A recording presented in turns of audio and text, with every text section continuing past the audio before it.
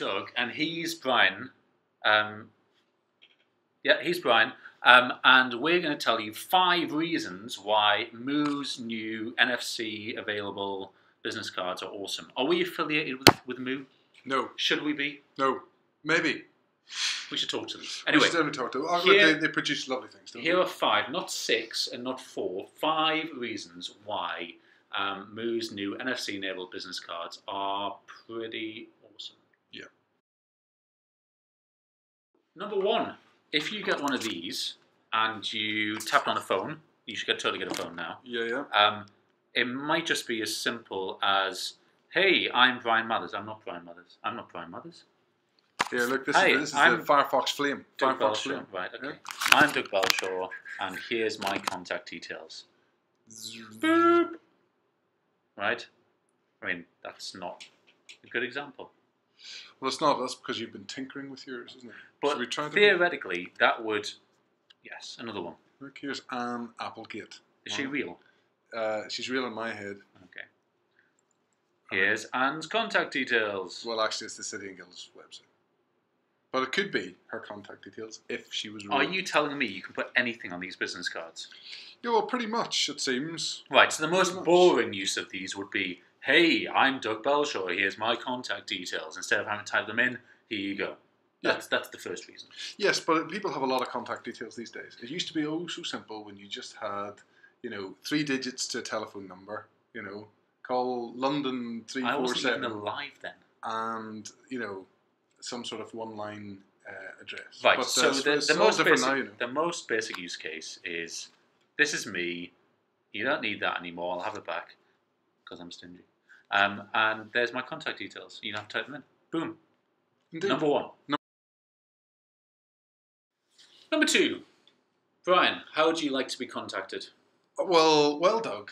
Um, I love video chat because obviously I'm working all over the place these days, Mm-hmm. and generally with a fairly strong internet connection, and um, and I use things like Skype and appear.in and stuff like that. So, how on earth would anyone know where your room was or what the best way of contacting you would be unless you told them? Well, it's funny, isn't it? Because you sort of need to do. I'm exchanging an email with somebody saying, "Hey, let's let's do a video connect," and it's just like, "Do you prefer Skype or Hangouts or appear.in or what? What's what's your what's your Yeah, and medicine?" And, and, these- there's a, there's a there's a dance that you do with someone to find the right sort of channel, as opposed to directing them to yours. Yeah, so I've got uh, it's appear.in, so it's um, WebRTC, so it works entirely in the browser. You don't need to install anything, sign up for anything, anything like that.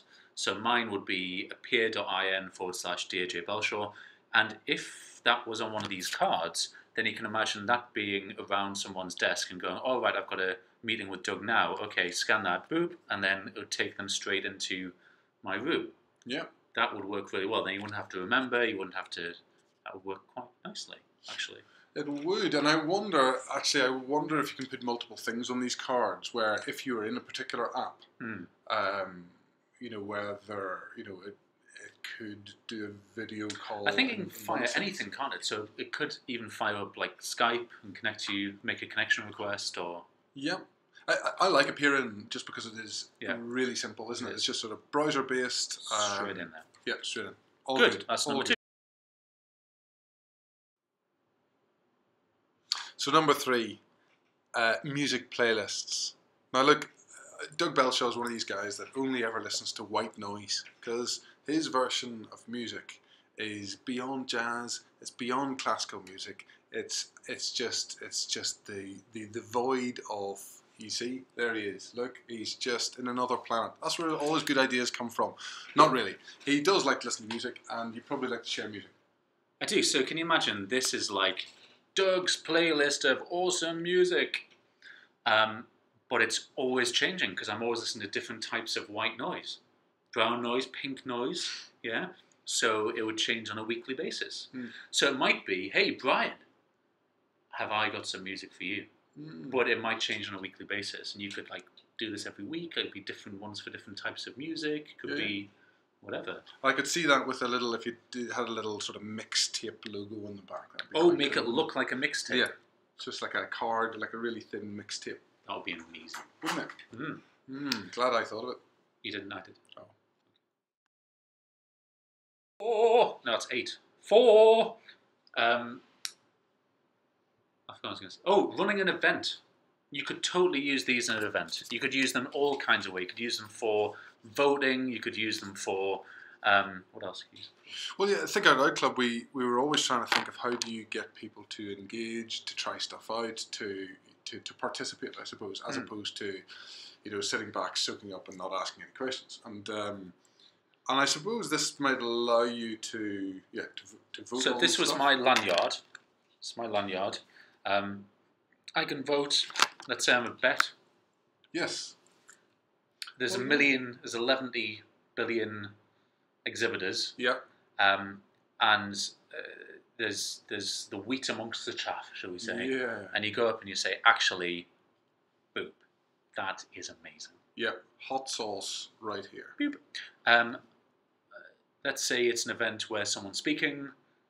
It might be because you can change these on the fly and it's instantaneous. Mm. Um, how would that work? You're about to speak. Yeah. And I'm introducing you, Yeah. and I say, "Hey, you know your lanyard that doubles as a uh, link sharing thing. So if you scan your lanyard now, you'll get Bryan's presentation slides, um, and then you could change that again ten minutes later, etc., Yeah. etc.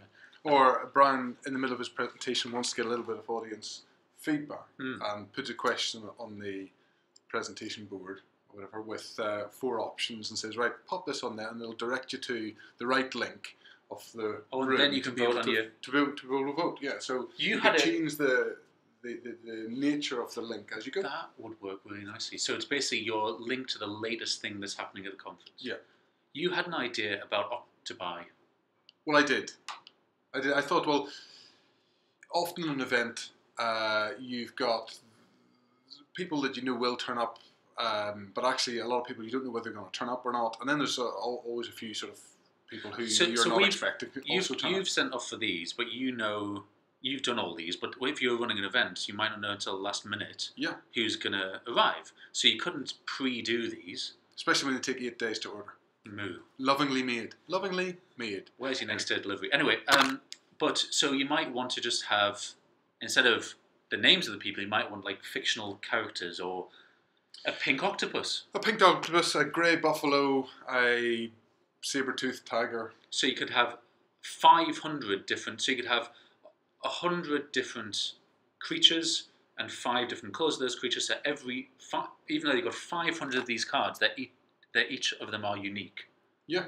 Um, and then you could go around the event collecting evidence, collecting achievements, whatever it is. Mhm.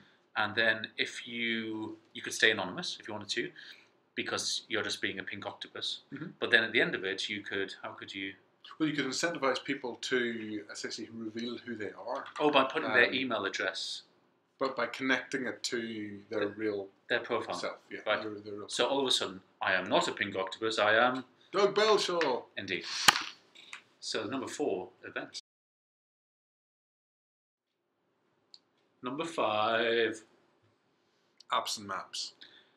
Why are we putting these two together? They're two completely separate things. That's crazy. Are you saying that we're only doing this to avoid having six because we want an odd number because odd numbers are better? No apps and maps, Ryan.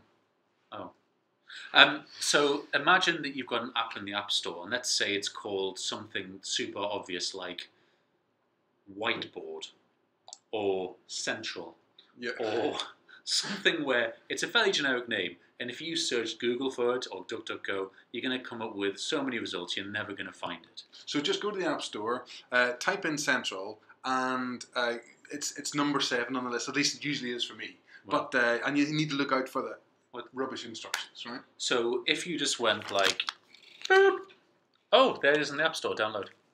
Exactly. That would work really well. It's quite like maps, isn't it? Because maps, you're, you, you end up going to you fiddling with your phone and then ending up going to a desktop where it's just got proper keys and you can put in a postcode and actually find oh that's where it is and that you know So I've got- it's I've got a bit of a footer. chip on my shoulder online? about directions, right? As a man, people like almost bamboozling you with directions.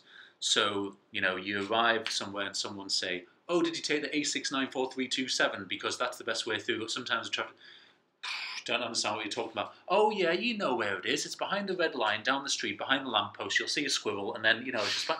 And you're like, what are you talking about? So if it was just, it's here, boop. All right, okay, take me there, boom. On Citymapper or Google Maps or whatever it's going to be, Mm. that would work really well. It would. Apps and maps. If you've got some ideas of how to take the physical and make it digital, Mm. what should people do?